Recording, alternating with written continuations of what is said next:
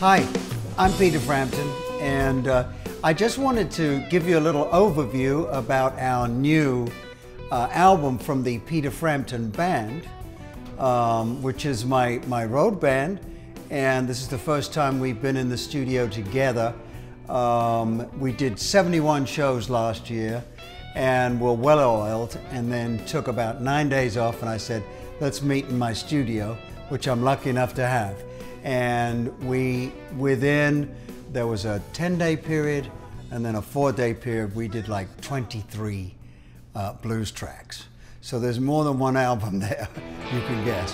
So uh, anyway, um, it's called All Blues, and it's basically a collection of blues uh, favorites of mine and the band.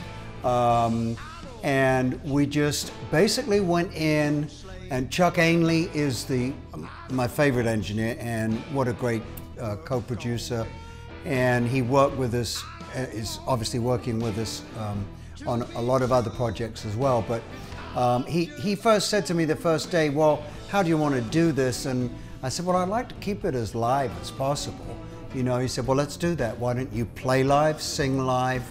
So all these tracks on this album are done um, uh, from that standpoint.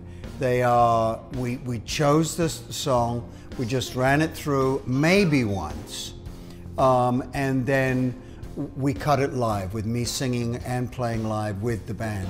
That's why, to me, it has so much more dynamics than it would have had had we done what we kind of call like building blocks records, where you use a drum machine, add the bass, add the guitar, add the piano, add the drum, whatever. So uh, after many, many years of recording, I've learned that the best thing to do is to go back to basics. And boy, did it work. So we're very proud of this, and it, it comes out on June 7th.